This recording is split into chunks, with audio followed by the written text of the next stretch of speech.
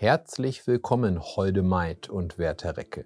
Mein Name ist Florian alias dein Lab-Tutor und ich heiße dich hier herzlich willkommen. Heute geht es um den Oberhau. Der Oberhau gehört zu den drei Grundheuen und ist wohl der natürlichste und gleichzeitig der kräftigste der drei Heue.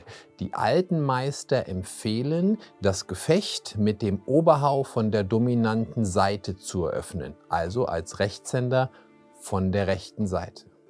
Man kann den Oberhau in drei Kategorien unterteilen. In den weiten Oberhau, in den Oberhau, den man ins Hängen schlägt und den geschobenen Oberhau.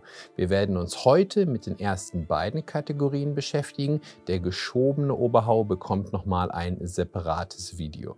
Bevor wir direkt mit dem Kampftutorial am langen Schwert beginnen, möchte ich an dieser Stelle einmal noch kurz erwähnen, dass das Basiswissen, wenn es um den Labkampf geht, wie zum Beispiel, dass keine Kopftreffer geführt werden, hier vorausgesetzt werden.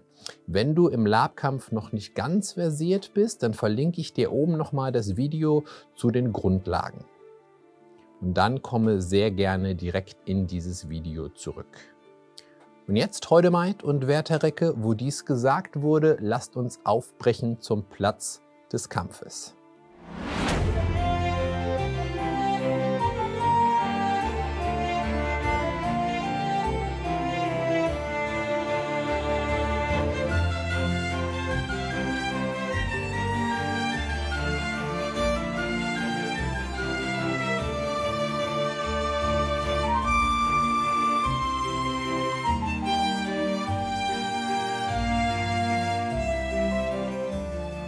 Dieser Oberhau ist ein kräftiger und weit ausladender Hieb mit keiner besonders guten Reputation, denn dieser wird oft von wilden, ungeübten Fechtern gefochten.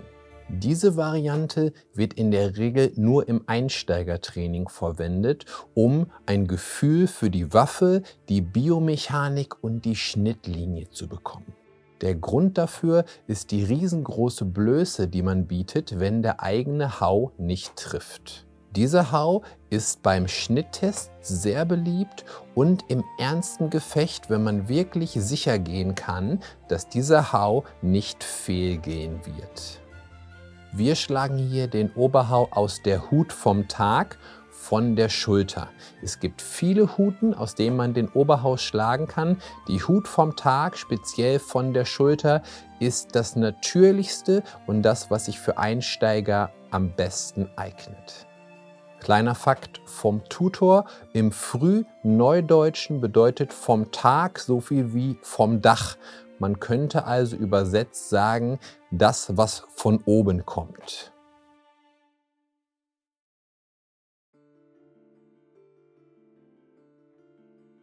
Die Beine stehen hüftbreit und in einer aktiven, aber unverkrampften Spannung.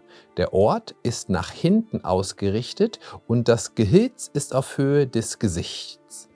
Die Ellenbogen sind nah am Körper, um den Gegner keine Blöße zu geben. Wir beschreiben einen diagonalen Bogen, etwa von der Schulter des Gegners bis zum Knie und enden in der Wechselhut. Achte darauf, dass du den Schlag lang führst mit annähernd gestreckten Armen. Dadurch generieren wir mehr Reichweite und unser Schnitt wird dadurch noch präziser. Achte darauf, dass wenn du den Schlag führst, dass deine Handhaltung in die offene Handhaltung wandert, damit dein Schlag mehr Reichweite erhält und du dein Handgelenk nicht überlastest. Wenn diese Dinge für dich neu sind, ich verlinke dir auch nochmal das Video, wie du ein Schwert richtig greifen solltest. Den Oberhau gibt es natürlich in zahlreichen Schnittlinien. Du kannst ihn natürlich genauso auch zur Hüfte führen. Das Entscheidende beim Oberhau ist die diagonale Führung. Bei dem optimalen Oberhau solltest du zusätzlich darauf achten, dass dich dein eigenes Schwert schützt. Das bedeutet, du solltest dein eigenes Haupt in Sicherheit bringen. Bei dem Oberhau, der von rechts kommt, solltest du deinen Kopf leicht rechts zur Seite neigen. Denn bei dem Kampf mit dem langen Schwert ist diese Wehr auch gleichzeitig dein Schild. Beim Labkampf gibt es natürlich keine Kopftreffer. Du solltest aber so kämpfen, als wenn es welche gäbe. Das macht die Kampfhaltung sehr viel glaubwürdiger und realistischer. Wenn du deine Linie richtig deckst, bietet dir dein Oberhau Schutz sowohl vor den Oberheuen des Gegners als auch vor den Unterheuen.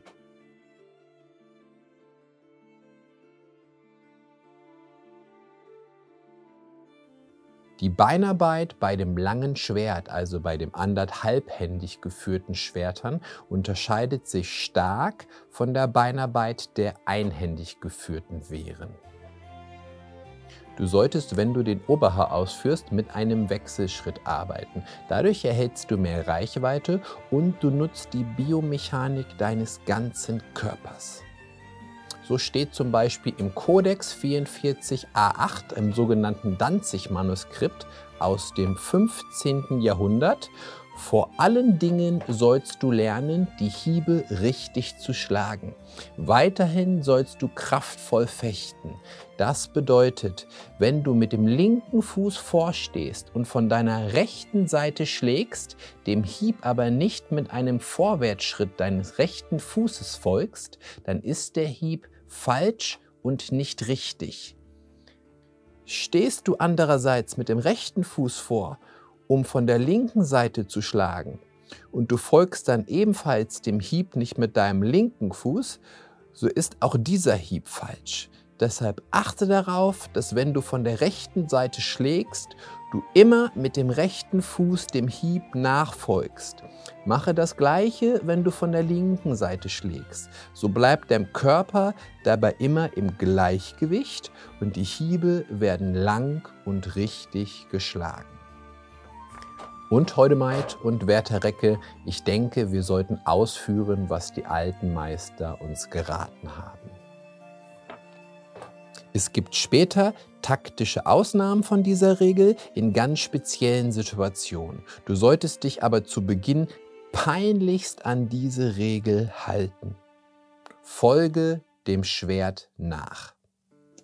Und das führt uns gleich auch zu der nächsten unwahrscheinlich wichtigen Regel, Stahl zuerst. Das heißt, zuerst führt die Waffe, dann folgt der Körper.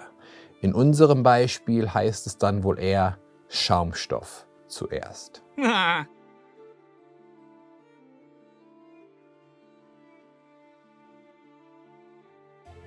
Der Oberhau ins Hängen. Dieser ist sehr viel gebräuchlicher als der weite Oberhau. Dadurch, dass wir ihn ins Hängen schlagen, bleiben wir weiterhin eine Bedrohung für den Gegner, können direkt ein Folgestück fechten und sind auch viel besser gedeckt. Entscheidender Punkt ist, dass du beide Oberhau-Varianten sicher und mit Kontrolle fechten kannst. Damit du sicherstellen kannst, dass du die Regel verinnerlichst, dem Schwert mit dem Schritt nachzufolgen, solltest du den Oberhau in Bahnen üben. Mal von der rechten Schulter und dann wieder von der linken Schulter. Und zwar jeweils von der rechten und von der linken Schulter im Wechsel. Wenn du dich gut fühlst mit dem Vorwärtshieb, kannst du die Bahn dann auch schließlich rückwärts fechten. Als Empfehlung von mir, wenn du die Möglichkeit hast, mit einer Blankwaffe, also mit einer Stahlwaffe zu trainieren, dann solltest du das tun. Im Lab versuchen wir ja, das Gewicht der Waffe passend darzustellen. Und das ist natürlich nur sehr bedingt möglich, wenn wir nicht regelmäßig ein Stahlschwert in den Händen halten. Es ist überhaupt nicht nötig, dass es eine scharfe Klinge ist, es reicht eine stumpfe Blankwaffe. Wenn du fortgeschrittener bist, kannst du natürlich auch immer mal wieder zu einer scharfen Waffe greifen. In dem nächsten Video werden wir uns mit dem Unterhau befassen. Schlag mir gerne deinen geübten Oberhau auf den Abo-Knopf und auf die Wachturmglocke, damit du dieses Video nicht verpasst. Gehabt euch wohl und übt fleißig, denn ihr wisst, ohne Fleiß kann es keine Kunst geben.